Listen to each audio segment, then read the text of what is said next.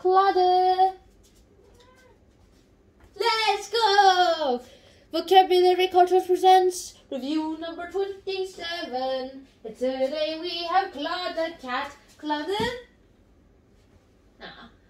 And right now, let's get this started with. Yeah! I have a story that shrinks! Number one, we have no rudimentary. Elementary, my dear Watson. Like that word. Except in this case, it's the word rudimentary. And so you remember rudimentary, which is an adjective that basically means very, very, very simple or very prehistoric.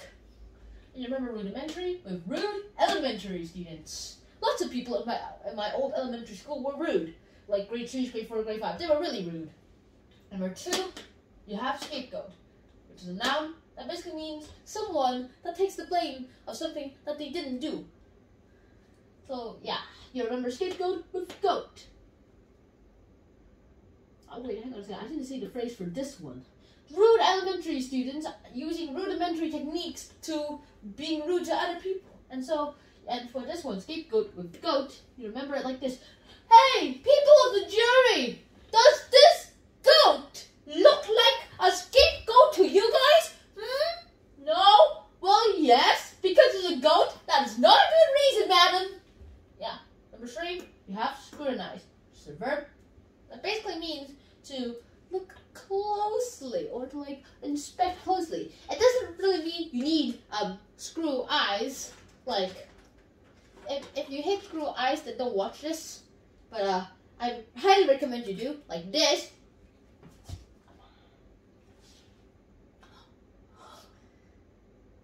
Like that. It, it doesn't really mean you need screw eyes of actual screws, but it actually means scrutinize to look closely at something.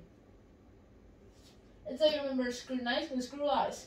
You need screw eyes. If you want to scrutinize something, all your uniforms, you need to have screw eyes. And number four, you have segregate. This has been a really big problem for a while now. Lots of people are still segregating other people just because of this. Yeah.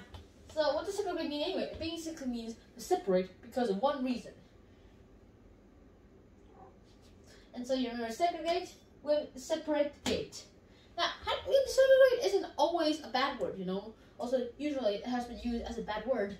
Segregate, you remember segregate with separate gate. The the, uh, the horses, the race horses, were always put into separate gates, segregated into separate gates whenever the race starts.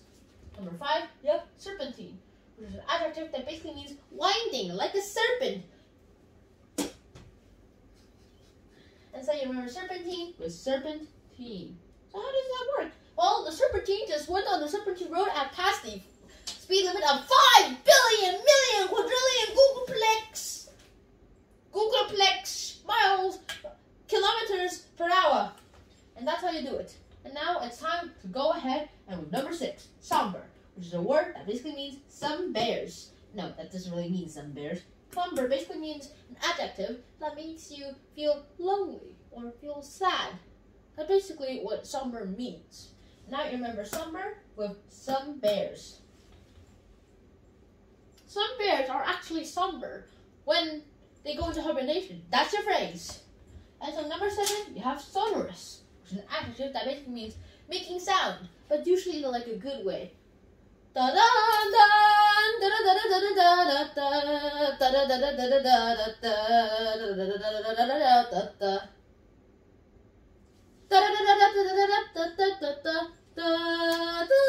yeah, I was just being sonorous right there. That's how you remember sonorous with snorers. The effects of sonorous snorers. Imagine people are like while they sleep. And so you remember sonorous with snorers. Number eight, you have spur, which is a verb that basically means to spur, which is a verb that basically means to kick off, hit you away. Spur no into action. Go ahead. Go run. Go run. Go run. I'm trying to spur him into action to get someone motivating. Like, come on, Claude. Go. Go. Go run. Oh, and I didn't spur him. Well, that happens. And now you have spur. Remember spur with spurs. What are spurs? It's basically stirrups. Like the action of doing, like spurring stirrups which in the like this is how it happens. Now, how do you spur a horse? By spurring, by kicking on the spurs. Hey, I got spurring action. Kick! You just spur the horse into action. Number nine, you have spurn, which is basically a spur with an N attached to it. Spurn is a verb that basically means like, no, no, no thanks, no thanks. Like to, like say no to someone. So you remember spurn with burn. How do you remember spurn with burn anyway? Well, like this. Let's, when Mike was spurned by his date to a dance, he burned. And imagine two scenes. One, he asked to dance, and then the next, like, the date is like, no. And then he's burning literally with fire, like, like that. And so, last one, it's stupefy.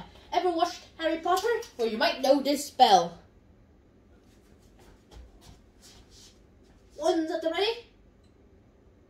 Three, two, one. Stupefied! Like that, that spell. Well, it basically means stupefied. actually means the same thing what stupefied does. In Harry Potter, the word stupefied would basically do this. It stuns your opponent for a few seconds. Stupefy actually means to stun someone for a few seconds. Although, now, it doesn't have to be the wand or something. You remember stupefy with superfly. The kids were stupefied when the superfly stole the birthday cake. Imagine this, four kids about to take a slice of cake, but then the superfly flies in, grabs the cake with one uh, leg, and then flies away with the cake, and not wavering at one single moment.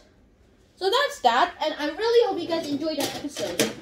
So until next time, Schwanash, peace. Claudette.